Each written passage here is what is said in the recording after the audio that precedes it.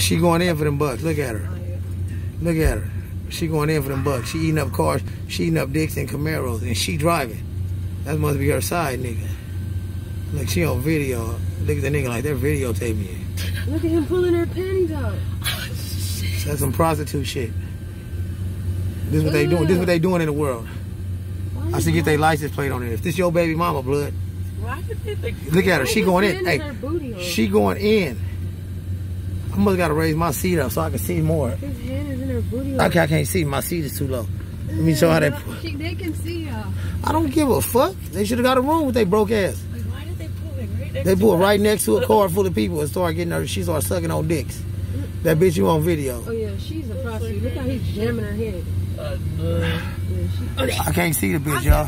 But look at her. I'm doing it. If I roll my window down, that shit gonna be clear as fuck. Uh. Uh, Nope, that's what they get.